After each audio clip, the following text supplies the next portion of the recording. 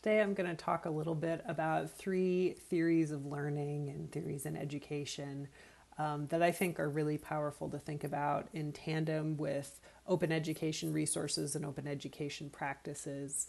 Um, this is part of the Ready or Not course. The syllabus and the link to this um, presentation are in the description below.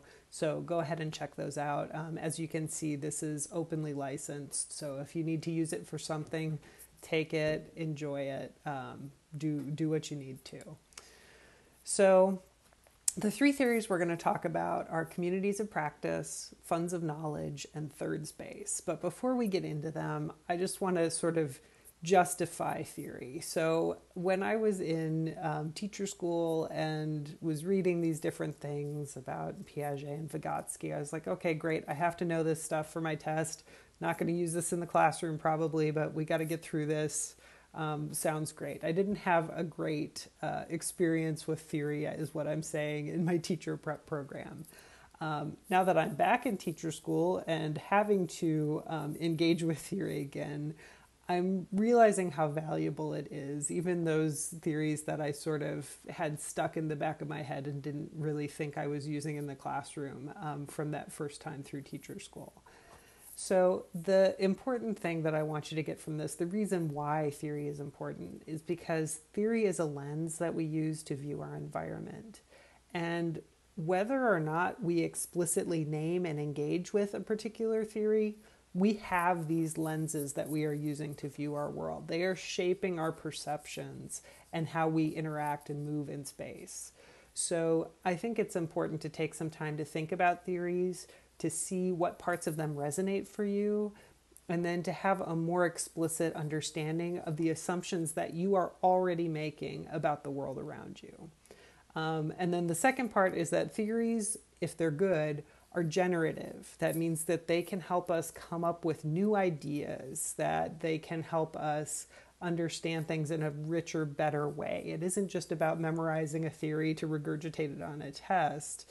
We're learning a theory so that when we go out into the world, we can um, we can engage in a more robust, thoughtful way than we were before.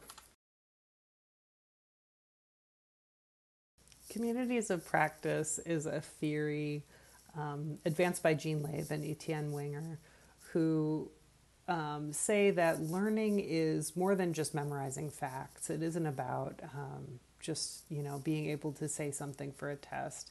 It's done constantly all the time through lived experience and is really about taking on the identity as a member of a community through gradually more and more central participation in that community.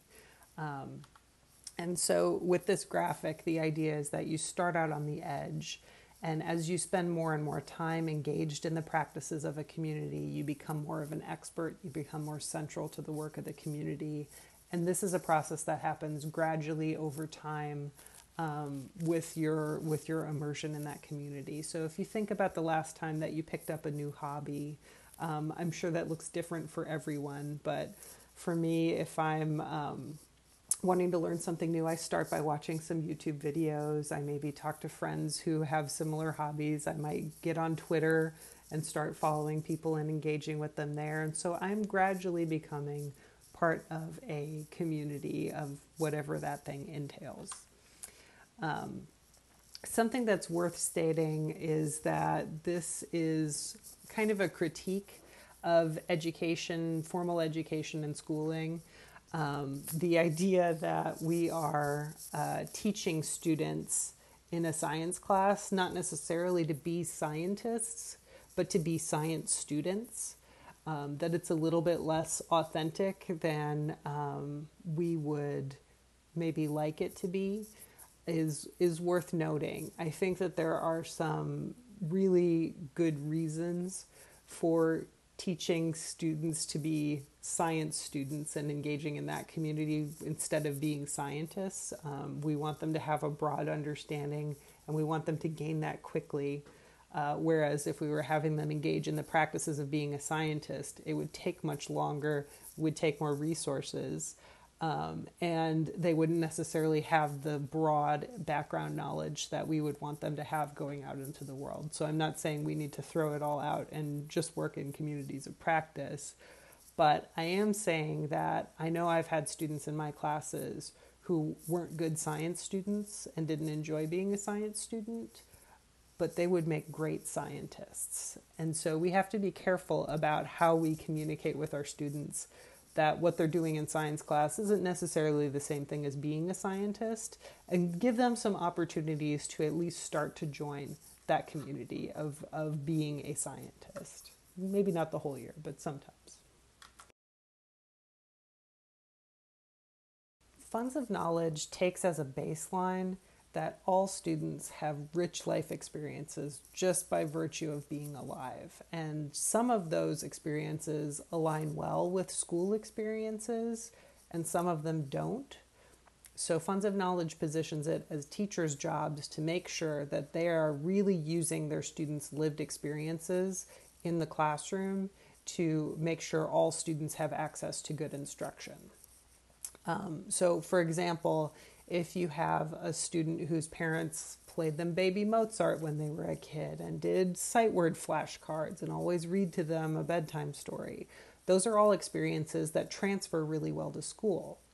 Other kids have just as many lived experiences, they just don't fit well with school. Maybe some of your students are taking care of their younger siblings when they get home from school. Maybe some of your students are um, spending a lot of time outdoors and just free playing and having that time. All of our students come to us with rich background histories, and Funds of Knowledge argues that um, those can all be brought into the classroom and should be in order to level the playing field. This came from a group of educators in uh, Tucson, New Mexico, whose students were often um, Mexican American or recent immigrants who didn't always have a lot of English language skills, but who they knew could be really successful. And they basically got tired of hearing all of these def- all of this deficit thinking around their students and why they weren't going to be successful in school or why we shouldn't expect them to be successful in school and how they were they were less well off than their peers. Um, so what these educators did was they went on home visits and they conducted lengthy interviews with their students and their students' families. And then they took that knowledge about their students' experiences and started working it into the school curriculum. So, my favorite example from them is one of their students was a boy whose family would go back to Mexico every summer to visit relatives. And he would buy candy there and then bring it back with him and sell it to his friends and people in the neighborhood. So if you even just think about the math that's involved there, right? You've got exchange rates, you've got volume considerations, um, you've got rates, you've got all kinds of things with currency on top of the language negotiation that has to go on in there. That's a really rich experience. And so uh, the teacher, his teacher, built a unit around just candy. Different students in the class shared their families' traditions around candies uh, they had different family members come in and make recipes for candy with the class. So you've got a cultural side of it, but then you also have that measuring um, and those sort of built in math skills. You have experimentation as you slightly change um, what's going on there. You can do a lot of good descriptive writing activities about sensory things around candy. So there's a ton of stuff that you can do to leverage students' experiences, even if it doesn't on the surface seem like something that fits well in academics. Okay, I'm going to give a couple of examples here. If you're short on time, you can skip ahead to the next thing, or if you feel like you've got it, great. Um, but I've got I've got two kind of robust examples to go through. So, thinking about rurality and, and rural experiences, and I know a farm is like a bad stand in for all of rural experiences because a lot of our rural kids don't live on farms, but bear with me, okay?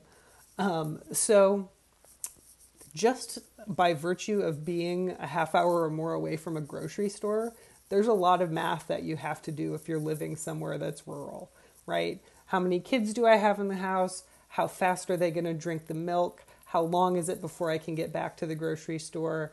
uh, how much milk do I need to buy, right? Even before we get into budgeting considerations, there's just some um, inherent math that goes into living in a rural experience. Energy sources. You think about equipment that runs on diesel, you've got your cars running on gas, your plants are growing because of energy from the sun. Uh, you probably have a propane tank, and again, getting back to that math, you want to get filled in the summer so you're not paying those winter rates and you're wanting to estimate how long it's going to take you to go through your tank. Um, so there's a lot of understanding of different forms of energy that come from living in a rural environment. Uh, the gears there are standing in for all kinds of simple machines. Um, in general, when you're living farther out from uh, major cities, you're doing a lot of that work yourself, whether it's fixing, um, fixing up a car or a piece of equipment, tinkering uh, with some old junk that you have lying around, doing your own uh, plumbing or home repair kind of things. There is a lot of understanding of physics that goes into those that we don't automatically transfer into the classroom, but can absolutely be invited in. Thinking about life cycles, I would argue that most kids that grow up spending time outside have seen things being born or seen eggs. They've probably seen things that are dead and every stage in between. There's a lot of biology that goes into um, and can be leveraged in the classrooms. And then my next thing with the bees is just the idea of foraging and looking for your own um, food uh, as often happens with kids who have access to um, more expansive environments that we consider uh, in cities or towns. The understanding of how organisms interact, how the seasons change what's available, um, what conditions you want to look for to find certain things is all really valuable knowledge that can be transferred into the classroom. And then I've got the papers and the writing there, just thinking about how many um, children's books are set on farms or in rural environments where students might be more easy, able to easily visualize what's going on in the story or be able to bring in their background knowledge and see oh yeah this fits with my experience or this is something new so that's my that's my rural example my next example is about video games, um, and I could talk for a while about gamification of school and how I'm a little bit um, ambivalent about that, but I'm not going to today. So, video games, though, are learning environments. Um, video games teach you how to play them, and a lot of the same processes that are in video games we replicate in schools or vice versa, probably. So, let's start with the scaffold guy over here. Um, most video games will take you through some kind of a tutorial, whether that's explicit or just kind of baked into the game. Um, most video games, when you're stuck, will give you some kind of a hint or have some kind of a mechanism where you're prompted to do something or you're reminded of some information or something in the game tells you, okay, try this if you haven't if you haven't yet. Um, that kind of that kind of idea where we start on a simple version and then as you gain experience in the game things get more and more complicated you add more layers to it. That's in virtually all video games where you can start with something simple and then it uh, builds on itself as you get more comfortable and new things are added in to keep it novel to keep it fresh to keep you engaged. So thinking about how scaffolding works in video games versus in classrooms is just an interesting sidebar for me hopping over to the other side of the screen, which might be this direction, I'm realizing, um, we've got the little speech bubbles. Um, kids talk about the games that they like to play with their friends, whether they're in person or online. Uh, they read things about their games. They may be creating content around games that they enjoy. So there is a rich literacy that goes along with video games. Um, I do some outreach with the library system uh, where I'll teach kids uh, some some coding in Scratch. And a lot of times when they share their screen because there's some kind of a problem with their code and they want me to look at it, uh, they'll have bookmarked like, oh, okay, a Minecraft forum or the Stardew Valley wiki. They're reading about these video games because they have an authentic need to do so. Um, so continuing down, virtually any game that has levels in it, like where your character can gain experience, um, has models for exponential growth. it usually takes a lot less experience to get from level 1 to level 2 than it does to get from level 10 to 11. And so kids are natively having experiences with these that we just need to connect to school when we're talking about exponential growth. And then the last two little icons there kind of go together. There are usually multiple ways to solve things in games. There's usually a brute force option where you can just try to get through it, or you can try to strategize. Excuse me. And find alternate ways through. That ties back to literacy. Sometimes kids are reading manuals and walkthroughs and guides to help them with that. But that kind of divergent thinking of, okay, there are multiple ways I can solve this problem, and I'm going to pick one that fits well with um, my strengths and my interests as a gamer, is a cool one. Um, and there's also creativity. A lot of the games that our kids are playing are sandbox games where they're just in there and they can make choices and do essentially whatever they want, right? If they want to go out and fight bad guys, they can. If they want to build a really cool looking house, they can. They can set their own goals within the game and then monitor their progress on those goals and share out um, what they're learning. Doesn't that sound like what we're wanting kids to do in a classroom? To have some creativity, to respond to things in a way that makes sense to them, um, and to to practice, to keep working at it as they um, as they improve and get better, to keep challenging themselves. Okay, one more thing before we get into third space. I think that this idea of funds of knowledge is going to be really important in the coming year because I'm already hearing a lot of narratives around kids' learning loss during COVID. And I think it's important to push back on that.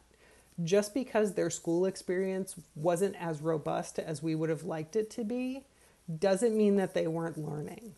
Kids were still alive for that amount of time, they were still existing in the world, they learned things during the pandemic a lot of them were following news when they didn't before, more than they did before, right? They were getting their information from outside sources. Some of them had parents working inside the home. They had a window into what an adult job looks like and what the structure of their day is.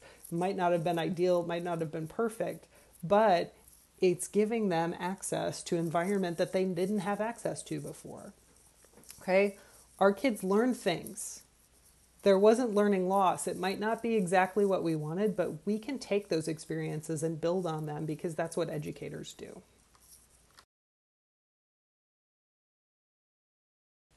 Third space and funds of knowledge are really friendly theories. Like they go together really well. Um, they both look at the resources that students have already, um, the resource oriented approaches, and they look at how schools can be better made to um, utilize those resources. Um, this is a theory that sort of came about in geography and some of the other social sciences, but has been applied to education. And um, it looks at when two different different cultures interact. Um, it's not that one person is interacting in one only and the other person is interacting in the other only. It's that together they're creating this sort of hybrid third space. Um, in geography, it's the idea of okay, this is um, what the space is like in the real world. This is like what it's like in the planned world of, of blueprints and policies and things like that. And this is how the space actually works together that incorporates both these real and imagined components. Okay, so in education, what this has been used to talk about is saying, okay, first space is what the student does at home and those informal environments. And then second space is those formal environments of work and school. Okay. So again, the idea that some kids have first space experiences that are really compatible with second space experiences and some don't. Um, and third space is saying that teachers need to more deliberately hybridize what kids are learning at home with what kids are learning at school. Every once in a while, there will be one of those studies floated that say, okay, adults can't do math, right? We gave them this math test and they, they couldn't do all these problems. But when you embed that math within daily experiences like grocery shopping, like cooking, um, those kind of things, we can we can do math pretty well. Um, the the idea is that what you can do in first space doesn't always automatically transfer to second space. So, third space is about saying, okay, we can't have this binary what you do at home is home, what you do at school is school. We need to hybridize. We need to break apart this binary and say, no, really, there's there's things that can be shared between these that just improve learning. We're building on background knowledge and we're allowing for better transfer from one environment to the other. Okay. And particularly in light of our COVID year where we were you know zooming into kids homes and where kids were maybe sometimes seeing us in our homes we certainly had a third space over the course of the last year um, and so uh, this one this one feels like a good theory to talk about um, again there's this idea that some kids have more first space experiences that are easy to transfer to school and some don't and that's why those educational inequalities happen um, in creating a third space environment that pulls in more of your kids informal experiences and teaches them to recognize the strengths that they have and what the information and background knowledge they're bringing makes it a more equitable space. So, three theories. What do they all have in common? Why am I talking about these? Okay. All three of these theories are social and cultural theories of learning. Okay. This isn't like the blank slate model where Okay, you want the teacher who is the expert giving the kids the information as directly as possible by lecture. They write it down, they memorize it, they tell it back to you on a test. These theories of learning all state that learning happens in community. Learning happens when we are engaging with others, and we can do more together than we could ever do on our own. Um, they are all kind of saying, that we learn through experiences by doing things and by doing things with others, by doing things in community. And that this has to do with our identities. Who we are as people interacting with each other is a crucial part of the learning experience.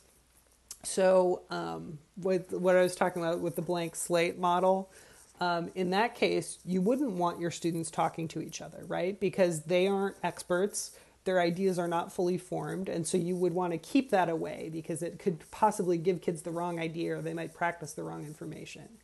These theories are really saying that when kids are talking to each other and engaging with each other around disciplinary ideas, they are practicing them. They are taking on those identities. They are trying things out. And that is where learning happens. It's not something that's just a one to one, I have a piece of information, I give it to you. It is a conversation where we are both sharing and negotiating and what we are coming up with is more than the the sum of its parts. So what does this have to do with OER? Coming back around. Take the non-disposable assignments idea, which is part of open education practices these are assignments that don't just get given to the teacher, they become a part of the classroom resource library, right?